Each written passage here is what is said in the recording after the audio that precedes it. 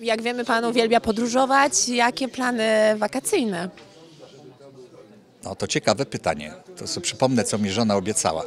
Zabiera mnie za granicę na moje urodziny. Dziwię się, bo to nie są jakieś ró- równe, ale chyba mnie kocha, bo, bo mówi, zabieram cię tam we dwoje, bez dzieci, więc, więc y, ciekawe, zobaczymy jak się uda. Mówię, rzadko wyjeżdżam bez dzieci.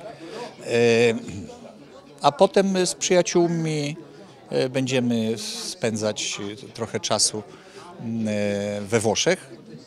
A tak to działka na Warmii. Mamy swoje, swoje miejsce od lat. Tam spędzamy czas, tam mamy świetne warunki. Ja mówię działka, no ale to jest taka, ta, tam jest dom, basen, jezioro, kład, kajak i przede wszystkim to, czego nie ma nigdzie na świecie. Cisza. To naprawdę brzmi zachęcająco. Jeszcze powrócę na moment do tego prezentu, bo to taki piękny prezent, miły, zaskakujący. Lubicie właśnie w taki sposób e, celebrować takie wyjątkowe uroczystości jak urodziny, żeby zawsze się zaskakiwać? Y, Wie pani co, to działa w jedną stronę, bo to żona mnie zaska- zaskakuje.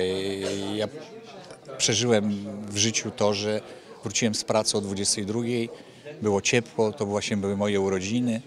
E, Wyszedłem do ogrodu, światła się zapaliły, wie pani, okazuje się, że stoi 40 czy 50 osób, kapela gra i, i ona to zrobiła, wie pani,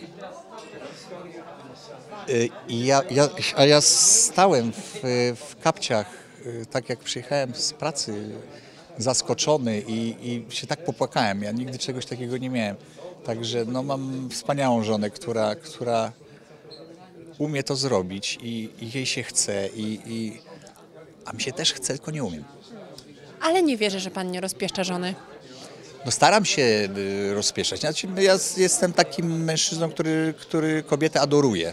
Ja mm, chciałem właśnie, żeby moja żona zawsze była na piedestale, zawsze y, była numer jeden dla mnie, y, zawsze słyszała ode mnie komplementy, w moich ustach podziw na swój, na swój widok i tak dalej, i tak dalej. O, kobieta musi wiedzieć, że jest najważniejsza na świecie. A bywa pan zazdrosny? Ja nie bywam, ja jestem.